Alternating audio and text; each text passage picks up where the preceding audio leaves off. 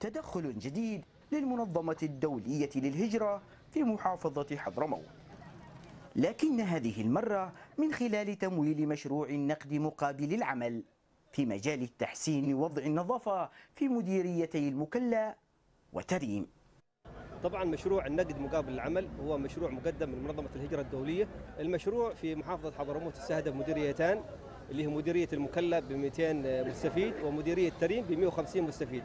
إن شاء الله أنا أتوقع إن سيكون له انعكاسة إيجابية على مستوى النظافة في مدينة المكلا وسيعيد الرونق الذي افتقدته مدينة المكلا في السابق إلى سابق عهدها. المشروع وإن كان في ظاهره دعم لجهود السلطات المحلية في معالجة الأثر البيئي وتحسين مستويات النظافة في المناطق المستهدفة.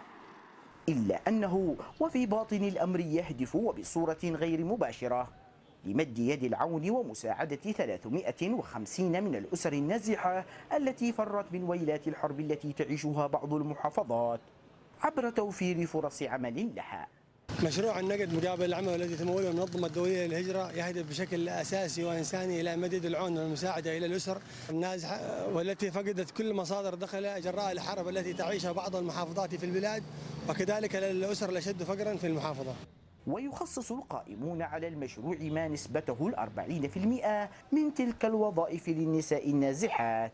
وفق معايير تمكنهن من ممارسة حقهن في الحياة.